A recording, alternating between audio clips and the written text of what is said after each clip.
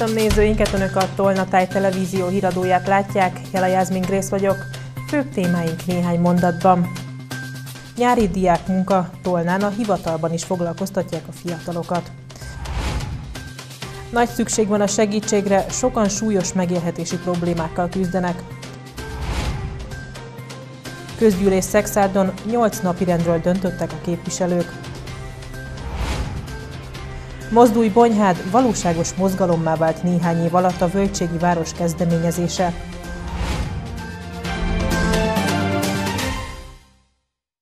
Tolnán ezen a nyáron is részt vesznek a fiatalok a nyári diák munkaprogramban. A lehetőség annyira népszerű lett az évek során, hogy már tavasszal túljelentkezés volt rá. Aki elmúlt 16 éves és nappali tagozaton tanul, azt napi négy órában tudják foglalkoztatni a hivatalban és egyéb intézményekben. A Tolnai önkormányzatnál és más intézményeinél kaptak idén is munkát a diákok. A hivatalnokok keze alá dolgoznak a fiatalok, ami a nyári szabadságolások ideje alatt különösen nagy segítség. És az sem utolsó szempont, hogy így ők is megismerkedhetnek a munka világával, változatosságot hoz a nyári szünetükbe ez a tevékenység. Nagyon jól érzem itt magam a hivatalban, négy órás munkát végzek jelenleg, borítékokat szoktam címezni, illetve administratív feladatokkal foglalkozok. Szeretek itt lenni, mert elsősorban a nővérem miatt jöttem ide, mivel ő is itt dolgozik, így több időt tudunk együtt tölteni, és így a munka is gyorsabban telik. Ez több szempontból is fontos lehet a gyerekek számára. Munkát tudnak vállalni, és lesz egy kis zseppénzük, és uh, talán egy kicsit így belecsöppennek a felnőtt létbe, a felnőtt világba, hogy nem csak a tanulás a munka, hanem, a, hanem a, akár a kétkezi munka is munka. Itt a hivatalban zömmel a hivatal munkáját segítő tevékenységet végeznek. A hivatal számít rá, hogy a jövőben is folytatódni fog a diákmunkaprogram, ugyanis meg vannak elégedve az itt dolgozó fiatalokkal, és remélik, hogy a jövőben akár alkalmazni is tudják őket. Én, akik, akiket láttam dolgozni, az ő munkájukkal maximálisan meg vagyok elégedve, remélem, hogy így lesz. Négy órában tudnak most csak dolgozni, tehát azért ez nem veszi el a, a szabadságot a a vakációból, tehát azért marad idő pihenésre, olvasásra, strandolásra, fesztiválozásra is. A diákok egy-egy hónapot dolgoznak végig a szezonban. Mivel jelentős számban jelentkeztek a fiatalok, ezért a 6 óra helyett napi 4 órában a minimálbérnek megfelelő juttatásért tudják őket foglalkoztatni. Így viszonylag könnyű munkával juthatnak egy kis plusz jövedelemhez, amit elkölthetnek a nyáron. Eddig 25 cég kapta meg a támogatási oklevelet, összesen 27,5 milliárd forint értékben az energiahatékonyságot növelő beruházásokat előmozdító gyármentő program keretében, jelentette be Szijjártó Péter külgazdasági és külügyminiszter. A tárcavezető rámutatott, hogy a program keretében 120 milliárd forintot biztosítanak 140 kedvezményezett vállalat energiahatékonyság és megújuló energia beruházásaihoz. Hogy ezzel megteremthessék a biztonságos működés feltételeit, ennek nyomán pedig mintegy 300 milliárd forintnyi fejlesztés jöhet létre.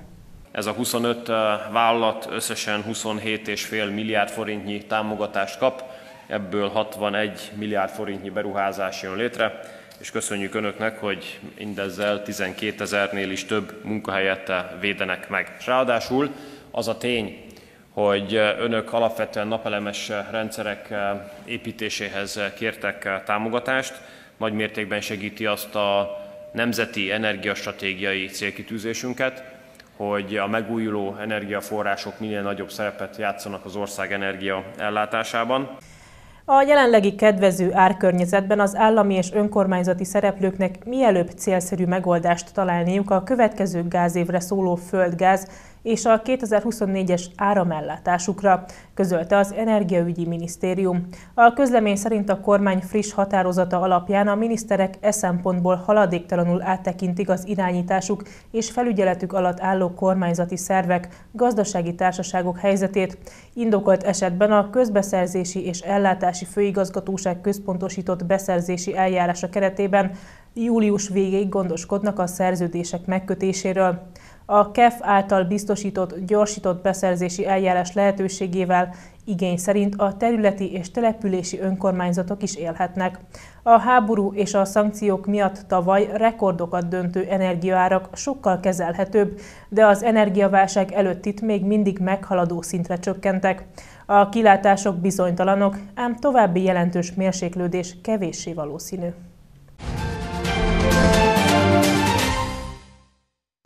Ruhaneműt, háztartási eszközöket és élelmiszeradományt osztotta a Magyar Máltai Szeretett Szolgálat szexádi csoportja. A szervezet nap mint nap szembesül azzal a tényel, hogy a jelentős áremelkedés miatt egyes családok komoly megélhetési problémákkal küzdenek. Ismét az iskola kezdés előtt álló családoknak segítette a Magyar Máltai Szeretett Szolgálat szexádi csoportja. A szervezet ugyanis már harmadik éve oszt szeptember előtt ruhaneműt, háztartási eszközöket, ágyneműt és élelmiszeradományt, hogy ezzel támogassák a nehéz helyzetben élőket. 200 rászoruló családnak és nyugdíjasnak segítenek rendszeresen, mondja Hess Zoltánné. Jövő hónapban, augusztusban már nagyon intenzíven fogunk tanszereket is gyűjteni, mert arra készülünk, hogy még a hónap végén, mielőtt megkezdődik az iskola, tanszer csomagokat is készítünk a segítségre szoruló családoknak. Ezeket a segítségkéréseket írásba lehet leadni nálunk, legkésőbb augusztus 15-ig fogadunk ilyen kérelmeket. Az akció eredményességét jól mutatja, hogy 2022-ben 210 szexárdi kisdiáknak tudott tanszercsomagot összeállítani a csoport, azonban ahhoz, hogy utóbbi idén is megfelelő mennyiségben álljon rendelkezésre, a lakosság támogatására is szükség van. Bárki behozhat ide hozzánk, leadhat akár olyan eszközt, ami megmaradt és nem lett felhasználva, vagy pedig olyat, ami még jó állapotú és még hasznosítható. Ez mellett augusztus 23-tól 26-ig fogunk gyűjteni áruházba is a szokásos módon. Nagyon jó jó szívvel adakozik a szexádi lakosság. Az osztások mellett a csoport egész nyáron gyűjti a tanszereket. Emellett örömmel fogadnak olyan taneszközöket, amire a családokban már nincs szükségük a gyerekeknek, mondja a vezető. A támogatottak köréből például nagy a kereslet az iskolatáskákra, toltartókra, festékekre, filckészletekre, de ezek mellett még bármit örömmel fogadnak, mert biztos, hogy minden beérkező adomány gazdára talál. Elfogadhatatlan az Ukrajnával szomszédos uniós országok számára az ukrán gabonafélék behozatali tilalmára vonatkozóan szeptember 15-ig tartó határidő, hangsúlyozta Nagy István agrárminiszter. Közölte, megállapodást írtak alá, amely jelzi, hogy Magyarország, Lengyelország, Bulgária, Románia és Szlovákia továbbra is együttműködik az ukrán gabona ügyben. Elfogadhatatlan számunkra a szeptember 15-i határidő, jelentette ki a miniszter. Hangsúlyozta, ha az Európai Unió nem hosszabbítja meg legalább december 21-ig ezt a határidőt, Magyarország minden eszközével megvédi a magyar gazdákat.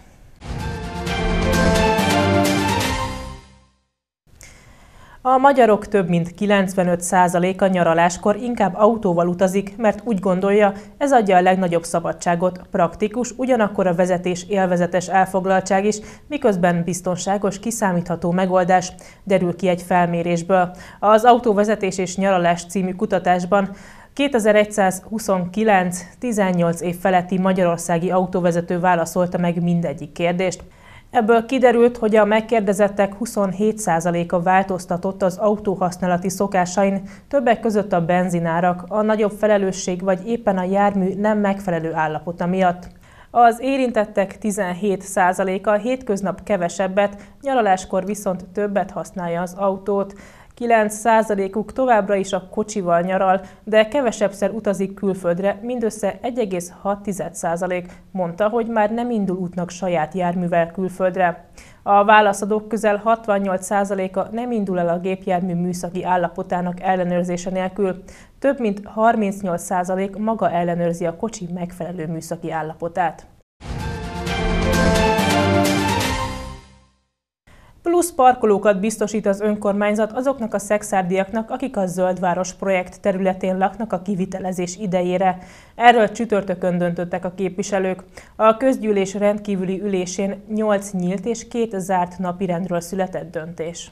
Napok óta dolgoznak a szakemberek a Zöldváros projekten Szexárd belvárosában. A négy hónapon át tartó beruházások során megújul a teljes városközpont, a környéken lakók viszont a munkálatok ideje alatt nehezebben tudnak parkolni. Ezt megkönnyítendő döntöttek most a képviselők. Rendeletet módosítottunk, parkolási rendeletet, amely szerint azokon a területeken, ahol a Zöldváros miatt most nem lehet parkolni, és oda kiadott engedélyeket más területeken tudják használni az ott lakók. Azon kívül parkolót is nyitottunk nekik, plusz parkolót, ez a főiskola egyetemnek a területén, ahol a lakók tudnak parkolni. Kicsit messzebb van, de legalább van hely, ahol tudnak parkolni, és a kivitelezés megkezdődött, ez körülbelül négy hónapot vesz igénybe, tehát ezek az engedélyek január 20-áig lesznek így átcsoportosítva. A képviselők arról is döntöttek, hogy Illés Tamás kezdeményezésére arra kérik a mávot, ismét indítson közvetlen járatokat Szexárd és a főváros között. Támogattuk az előterjesztést, Viszont van egy rossz tapasztalatom. Néhány hónappal ezelőtt Budapestre kellett mennem, és úgy gondoltam, hogy elmegyek vonattal. Hosszú ideje nem ültem vonaton. Úgy kezdődött a Sárbogárdon átszállás, 45 percet késett a csatlakozás. A 45 perc alatt nem volt egy büfé, nem volt egy italautomata a Sárbogárdon vasútállomáson, mintha visszamentünk volna az időbe egy 30 évet, mondjuk akkor mondjuk legalább büfé volt, most büfé se volt, úgyhogy egy kávéautomata volt, el kellett sétálnom a 300 méterre a benzinkútra egy üveg vizet venni, majd utána egy órás késéssel Budapestre érkeztem. Tehát úgy gondolom, hogy jogos a kérés, szexárdiaknak mindenképp járna egy direkt vasútvonal, és szerintem többen is mennének vele, hogyha Szexádról kiszámíthatóan Budapesten lehetne lenni, mondjuk 2 óra vagy 2 óra 10 perc alatt. A tervek szerint Szexádon legközelebb szeptemberben ülésezik a közgyűlés. Idén immár tizedik éve folytatódik Dombóváron a Kapos partján a szisztematikus régészeti kutatás. Az elmúlt évek során sikerült a Dombai család egykori rezidenciájának megismerni a kiterjedését, alaprajzi elrendezését és a főbb építési periódusait. A régészeti feltárások az Ötvös Lórend Kutatási Hálózat Bölcsészettudományi Kutatóközpont Régészeti Intézet szervezésében zajlanak Dombóvár város önkormányzatának finanszírozásával és a Nemzeti Kulturális Alap Örökség Egészségvédelmi Kollégiumának támogatásával. A Nagyatádi Adi Endre Technikum és Gimnázium diákjai már második éve vesznek részt nagyobb számban a munkálatokban. A tanulók a terepi feladatok elvégzésébe és az adatok kiértékelésébe és feldolgozásába is bekapcsolódnak.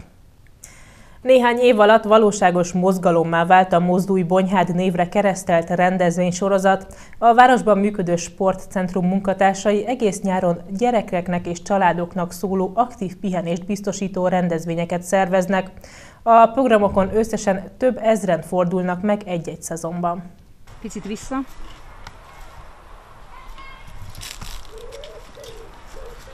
Nem, nem, vissza, vissza, lassan, lassan, mama engedi. Nem volt könnyű teljesíteni a feladatokat és megtalálni az előre elrejtett bolyákat a Mozdulj Bonyhád nevű eseménysorozat legutóbbi családoknak szóló programján. A gyerekek, szüleik és nagyszüleik több mint 150-en vettek részt a délutáni sporteseményen. Nincsenek helyezések, mindenki ugyanazt kapja, egy kitűzőt, műzlit, és kapunk innivalót. A lassan tíz éve a helyi önkormányzat által elindított Mozdulj Bonyhát program célja, hogy a fiatalok a nyári szünetben is hasznosan töltsék el a szabadidejüket. A rendezvényeket 2018 óta a Városi Sportcentrum munkatársai szervezik. Az események száma pedig egyre nő. Idén 13 alkalmat biztosítanak a szakemberek a sportolásra, aktív pihenésre vágyó fiataloknak. Minden évben a könyvfesztiválnak a fesztivál futásával indul ez az az első programunk, de már túl vagyunk például kerékpártúrán, a sportcentrum által szervezett napközis táborokat is betettük ebbe a programsorozatba. Ennek keretein belül van túránk, illetve foci táborok vannak. Idén nyáron még mások mellett kerékpártúra és városi kincskeresés szerepel a tervek között, és egy igazi Dunai kenutúrával is készülnek a szervezők. Minden évben Baján a Véndunán kenuzunk egyet. Hát amilyen 20-30 fő volt, amikor 40 is voltunk, fölül egy buszra itt Bonyhádon, lemegyünk Bajára. Kenuba ülünk, és egy túravezetővel gyakorlatilag bejárjuk a Véndunát. Közben fürdés, poénkodás, vízbeesés, vízbeborulás. A Mozdulj Bonyhád nyári rendezvényeire a helyi sportcentrum Facebook oldalán lehet jelentkezni. A regionális híreink következnek. Egészségkárosító építőanyag pályázatot hirdettek a hazai azbestmentesítésre. Kivágják a beteg fenyőket Pécsen, az időjárás változása miatt nem ellenállóak a fák. Rendőrök, tűzoltók és mentősök Fonyódligeten, hősök napja az Erzsébet táborban.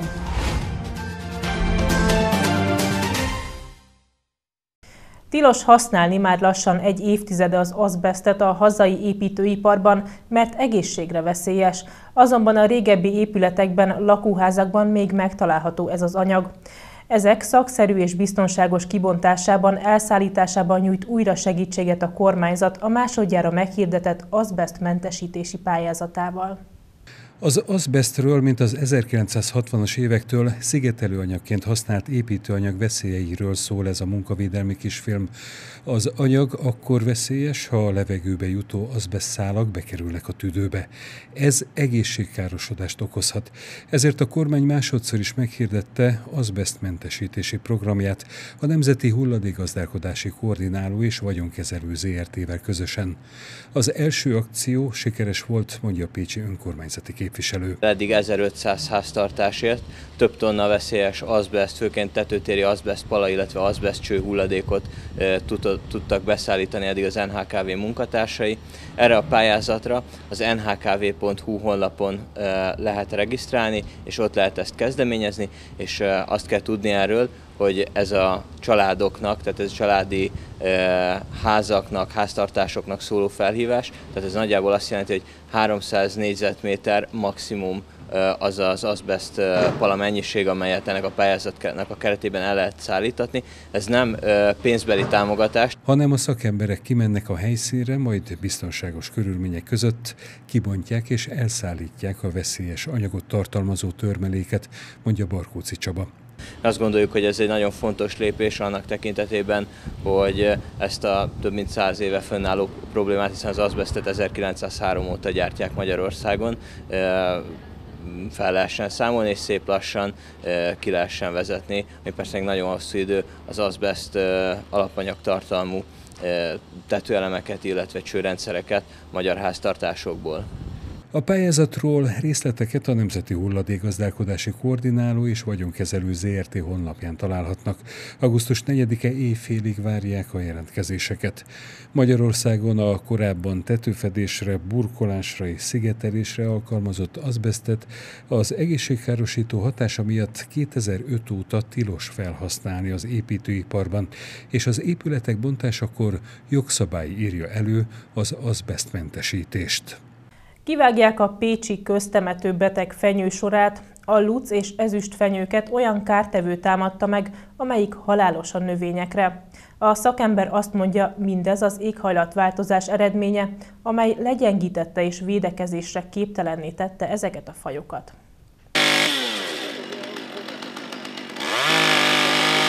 Gajazzák a kivágás előtt az egyik beteg fenyőfát a 16-ból a Pécsi köztemetőben.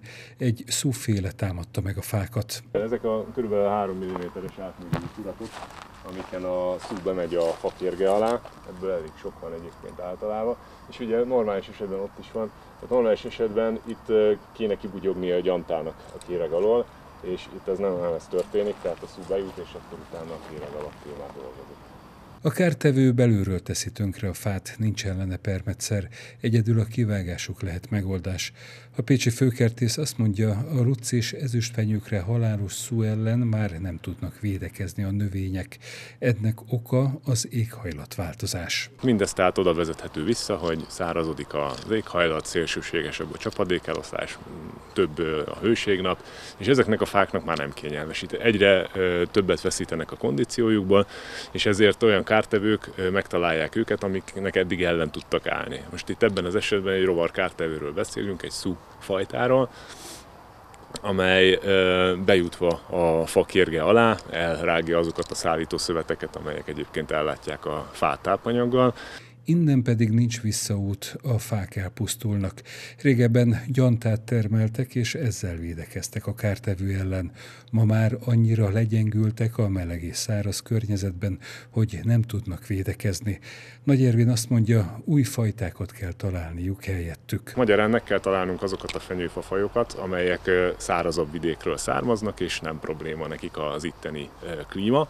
Úgyhogy egy fafaj cserében tudunk gondolkodni.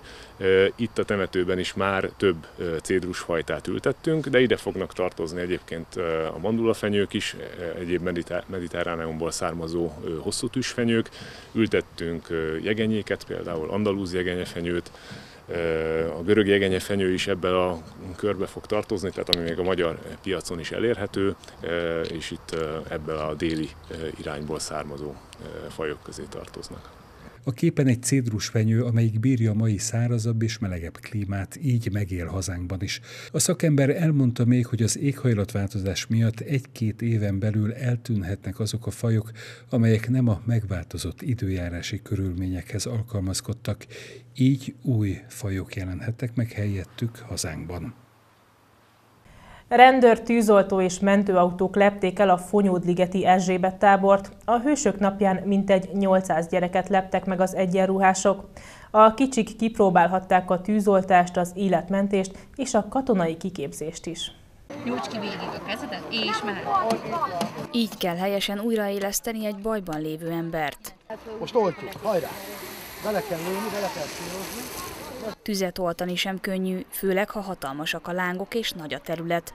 A mentők és a tűzoltók is megmutatták a gyerekeknek Fonyódligeten, hogy mi mindent tesznek a hétköznapokban azért, hogy életet mentsenek. Sok dolgot kipróbáltam, most jelenleg kipróbáltam a tűzoltókat.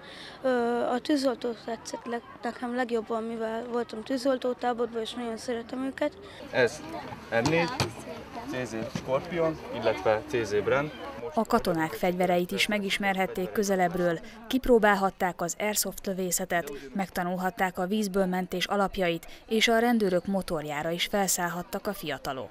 Bal lábad felrakod a lábtartóra, bal kézzel fogd a kormányt, így felállsz, jobb lábad. Szuper, minden nagyobb, így van. Szerdán hétköznapi hősök érkeztek a Fonyódligeti Erzsébet táborba, hogy bemutassák hivatásukat a gyerekeknek amiket itt megtanulnak, azt esetleg elviszik innen haza, átadják testvéreiknek, szüleiknek, majd szeptembertől az iskolába osztálytársaiknak, barátaiknak, és nem titkol dolog az is, hogy egy kicsit szeretnénk megmutatni, hogy, hogy milyen a, a tűzoltók, a katasztrófavédelem tevékenysége. A Balaton és környéke különösen nyáron kiemelt helyszínnek számít, ezért nagy feladat hárul a rendvédelmi szervekre Somogy vármegyében. Somogy vármegye védelmi szempontból nincsen könnyű helyzetben, van egy 70 kilométeres Balatonpartunk, egy hosszú határszakaszunk, és nyáron azért több százezer turista jelenlétét ellenére kell az biztosítanunk, hogy ők nyugodtan, biztonságban érezhessék magukat, és így vehessék igénybe a szolgáltatásokat, mint például a gyerekek itt ezen a mai napon. Az Erzsébet táborokban úgy állítják össze a nyári programokat, hogy a gyerekek új élményeket szerezzenek, és hasznos ismeretekkel is gazdagodjanak. A tudomány, sport, magyarság, kultúra, ez mind megjelenik a táborokban, mindnek van egy-egy tematikus napja. És ezen tematikus napok sorában 2017 óta rendszeresen ben van a Hősök napja, ami pedig arról szól, hogy a gyerekeknek megmutassuk azokat a mindennapi hősöknek a munkáját, mint a rendőrök, a tűzoltók, a mentők, a katonák, a katasztrófavédelem, lát el. Fonyódligetre is heti váltásban érkeznek a gyerekek, most 700-an töltik ott a vakációt. Csak úgy, mint Zánkán, jelképes 1000 forintért cserébe nyaralhatnak a fiatalok a Magyar tengernél. Végül mutatjuk legfontosabb Tolna vármegyei híreinket még egyszer röviden. Nyári diák munka Tolnán a hivatalban is foglalkoztatják a fiatalokat. Nagy szükség van a segítségre, sokan súlyos megélhetési problémákkal küzdenek. Közgyűlés Szexárdon 8 napi rendről döntöttek a képviselők. Mozdulj Bonyhád valóságos mozgalommá vált néhány év alatt a Völgységi Város kezdeményezése.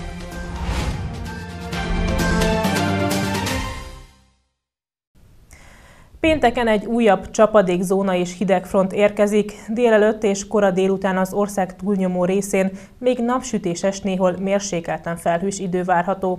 A délután második felétől északnyugat felől terjeszkedve egyre több felé az esti, késő esti órákban már országszerte kialakulhatnak zivatarok. Hevesebb felhőszakadással, jéggel, szélviharral kísért zivatarok nyugaton, délnyugaton, illetve a déli megyékben esélyesebbek. Friss hírekkel legközelebb pénteken este jelentkezünk, addig is kövessék műsorainkat, illetve keressenek minket a Facebookon, ahol naponta friss hírekkel, érdekességekkel várjuk Önöket. Ha látnak valamit, ami Önök szerint figyelemre méltó, akkor azt osszák meg velünk, hogy másoknak is megmutathassuk. Mára köszönöm figyelmüket, viszontlátásra!